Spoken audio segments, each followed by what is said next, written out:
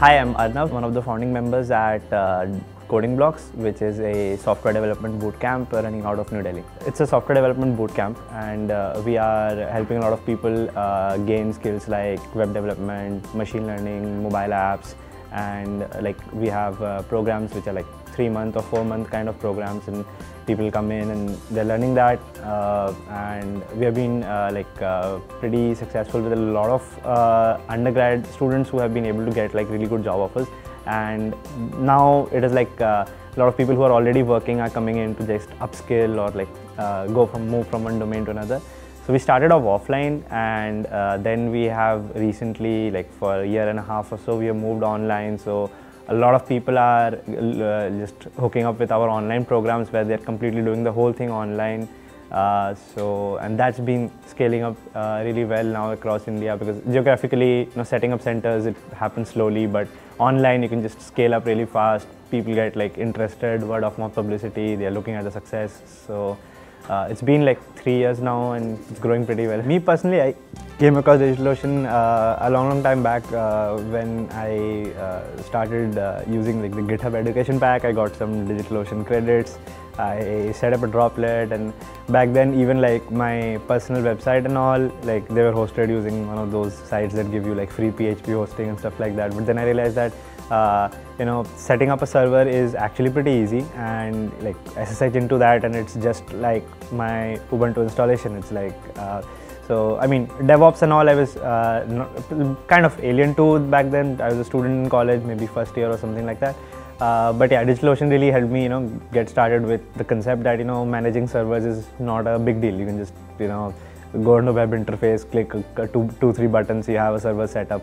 So that's how I started off with. And then when we started with Coding Blocks, and even my last venture before Coding Blocks, so I've been like an advocate of using DigitalOcean a lot because when like uh, our teams, uh, you know, they're growing and new developers coming in, for them also it's pretty easy to understand how the server infrastructure is running. It's like concept of droplets is VPS, not a lot of things to understand. So yeah, I've been using DigitalOcean for quite a long time. The best part that I like is uh, that uh, there isn't a lot of uh, uh, things to understand to just get started with, like understanding something like say how we can get on-demand memory or elasticity, stuff like that. I mean, all those features are there, but uh, just to start off with a server, you don't need to understand a lot of those things you have a server, you SSH into that, you know you can just git pull your uh, project and just start uh, deploying it.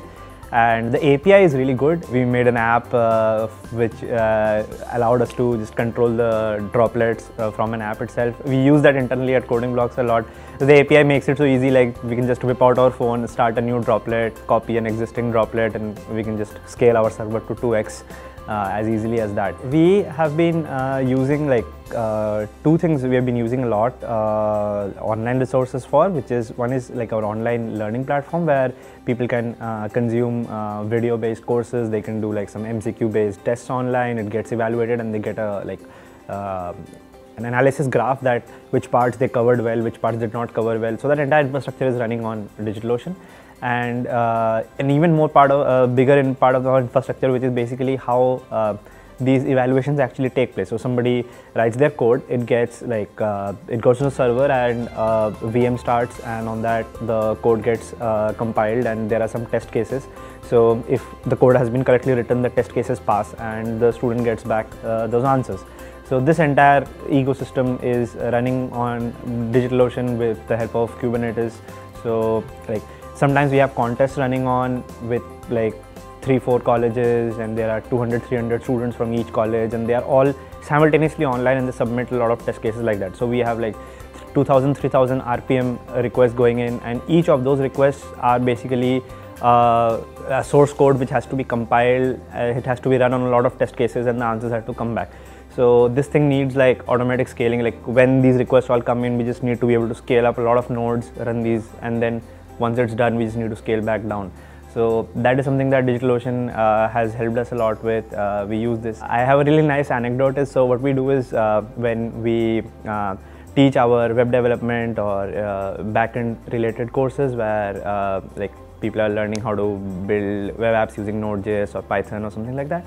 So by the end of the course, we just teach them how to deploy their solutions and we teach them all the providers, not just DigitalOcean. We teach them how to push it on GitHub pages or uh, even Amazon, Google, everybody. It's not just DigitalOcean specifically. But uh, I have seen that uh, close to 90% of the people, when we just ask them to submit their projects, they have usually like if it's just a front end project, they have set it up on GitHub pages. If there's a backend involved, they have done it using DigitalOcean. So I think that's definitely a proof that even for people who are just learning to develop web applications, like the uh, attendees who are coming to our programs, for them also it's like really easy to set set that up because I mean we just teach them all the platforms, they just end up using DigitalOcean. I think that's uh, definitely really nice.